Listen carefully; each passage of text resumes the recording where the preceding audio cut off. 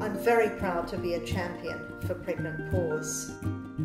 I'm a paediatrician with over 30 years of experience in clinical paediatrics and I currently work at the Children's Hospital at Westmead. I'm also a Professor of Paediatrics and Child Health at the University of Sydney with a remit for teaching and research.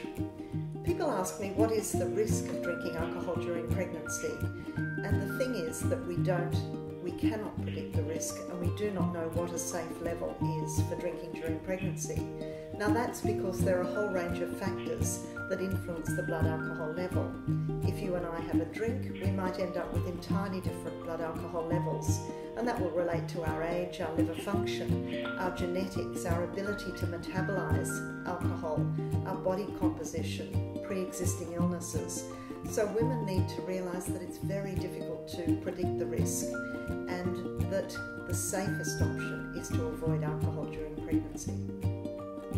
Well, we know that alcohol use in pregnancy can have a whole range of adverse outcomes. So it can result in miscarriage, premature birth, low birth weight babies.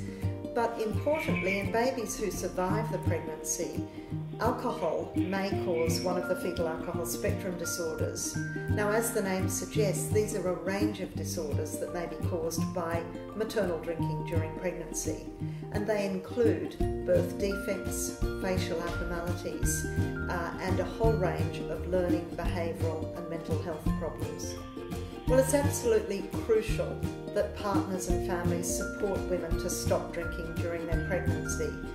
We know from many studies that if people around a woman are drinking, then it's very difficult for her to stop drinking. So that's one of the ways in which we hope to prevent women drinking during pregnancy is to encourage support of their partners and, and their family.